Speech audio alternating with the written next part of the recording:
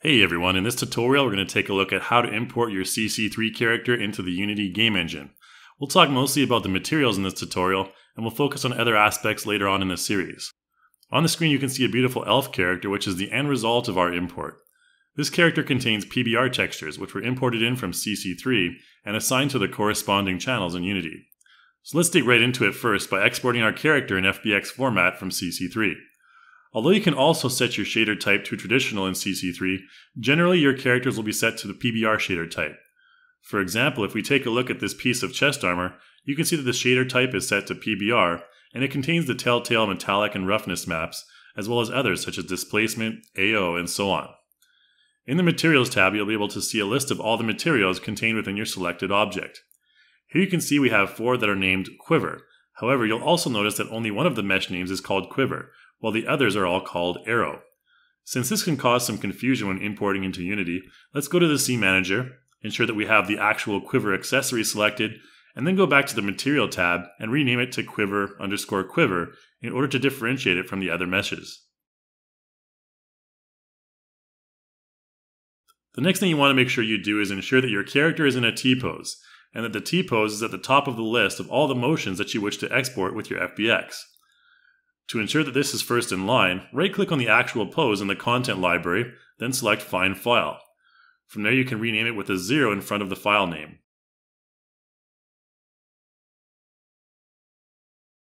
So let's go ahead and export by going up to File and Export FBX. Very important here is that you set the Target Tool preset to Unity 3D, and make sure you deactivate the Embed texture box. In the motion list, you can have as many motions embedded into the FBX as you want. But as mentioned earlier, make sure that the T-pose is at the top of the list. You can move this up with the Move Up button. You can add in more motions by using the Load Motions button as well. You don't need to activate the Delete Hidden Mesh box, but it's recommended in most cases in order to reduce the resources taken up by your character in the game engine. From here, let's just go ahead and export. Just a heads up that you won't be able to import your character back into CC3 in its current form due to the fact that you're changing the mesh by deleting the hidden mesh. We'll just save it as Elf Warrior for now and continue. After export is completed, you'll find your textures are all exported into the texture folder, and the normal and displacement maps can be found in the FBM folder of the same name. Let's go into Unity now. You'll want to make sure that you're using the 2018.2 version for now, However, we're currently working on compatibility for 2018.3 beta and later versions. We'll call our project warrior underscore setting and make sure we're using the 3D preset for our scene, since we're importing in a 3D character. Once you're in Unity, you'll want to make sure that you download a handy little script that we prepared for you that automates the import so you don't need to mess around with optimizing the textures. The link for the download is in the description of this video. Simply click and drag it into your assets and then click import. Once you've done that, you'll see two separate folders appear, the CC Assets folder and a folder called Editor. You'll also notice that a command has now been added under the Windows File menu item called Auto Processing for CC Character. In the Editor folder, you'll find a DLL file that contains the script for the auto settings. In the CC Assets folder, you'll find a simple README file that tells you that this is the folder where you want to import all of your character's FBX assets. What you want to do from here is import the entire folder containing your FBX file, the textures folder, as well as the .fbm folder into that CC Assets folder in your Unity library. Once the import is complete, you'll see that more folders have been auto-generated. A Materials folder, a Prefabs folder, and also an Animator controller named after your FBX. All you need to do now is import the prefab into your scene, and voila! You have a complete character with all of the materials already applied in the correct fashion. Let's take a closer look at the materials now to see what happened. In the Materials folder, you'll see all the character's materials, which are auto-connected to the appropriate parts of the character via the script that you downloaded. Keep in mind that the emission box must be manually activated if you have a glow texture applied from Character Creator.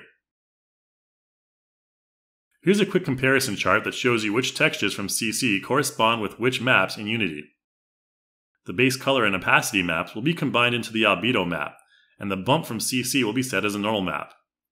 The metallic and roughness maps will be combined into Unity's metallic map, and AO from CC will be set to the occlusion map in Unity. Finally, your glow map will be set to emission. If your character used traditional shader mode in CC, then it will be slightly different and set to a special specular shader.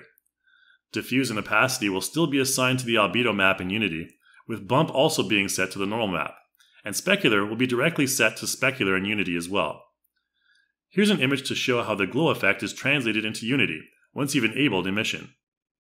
Let's take a closer look at the model now and see if we can't optimize the materials further. One thing to keep in mind when importing your character is to ensure that the shading mode is correct for each individual element. One thing you'll likely want to change is the shading mode for your character's hair.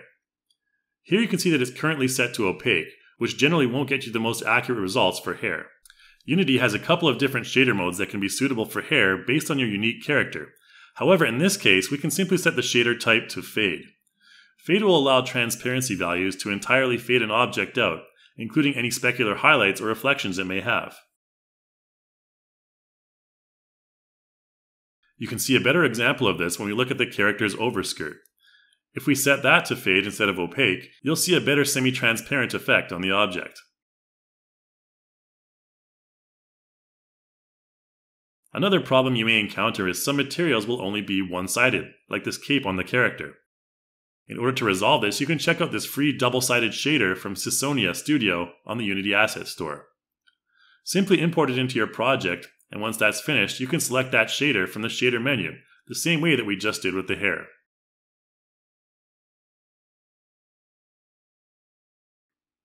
There are a few more options here, but in this case you'll want to select the standard diffuse bump. Once you've selected that, right away you'll be able to see both sides of our beautiful cape. If you want to edit the materials of the cloak further, we can twirl down the shader to see the properties. Here there are parameters such as specular intensity, glossiness, and normal intensity that you can mess around with to achieve the desired effect. Now that we've downloaded that double-sided shader from Ciconia Studios, we can also adjust the mesh of our character's skirt object even further. If we select Diffuse Bump Cutout from the Transparent submenu, you'll see that the result here will be a lot less transparent, which may not be ideal in this case. So what we'll want to do is select Diffuse Bump 2, which will present a much more accurate result.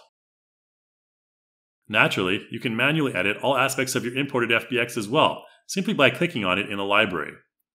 You'll see all the aspects of the model that you can customize appear in the inspector, including the model, rig, animation, and material parameters.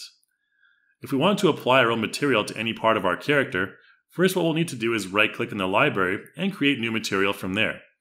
If you want to manually apply materials to your character, it's important that you deactivate the auto processing script from the window menu at the top. Make sure that it's deselected before dragging your material to the mesh that you want to apply it to, and then select Apply. Once it's applied, we can import another copy of our FBX, and you'll see our blank material has been applied to the cape. From here, we can do things like edit the albedo color, adjust the shader type again, and so on and so forth. So that's the basics of importing your FBX characters from Character Creator into Unity, made super easy thanks to the script freely available in the description of this video that applies everything to the right place so you don't have to. Thanks for watching guys, and make sure that you check out our forums at forum.reallusion.com, and I hope to see you in the next video.